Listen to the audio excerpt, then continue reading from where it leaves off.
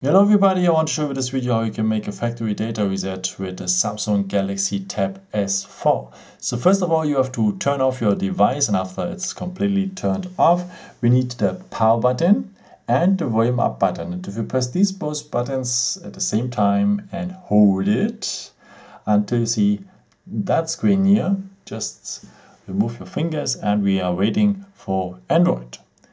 And um, sorry by the way. And um, now we are not able to use the touchscreen. We have to use our volume keys to the volume down button is to go down, the volume up button is to go up. And let's go now on wipe data factory reset and confirm with the power button.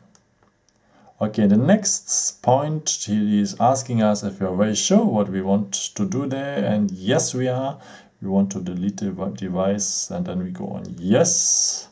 Confirm with the power button again. And uh, so that takes a few seconds as you can see. And after we have to go on reboot system now. So we are already on the reboot system now huh? and confirm now with the power button. And uh, at this time it will take a few minutes after uh, we are back.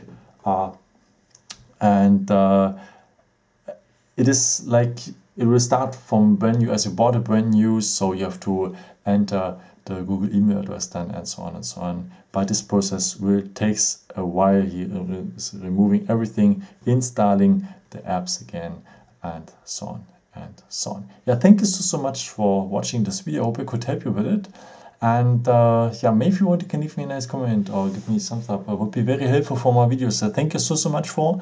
And yeah, I've created also some other videos if you're interested in or maybe just subscribe me. Uh, would be a pleasure to see you again. And maybe until next time. Ciao.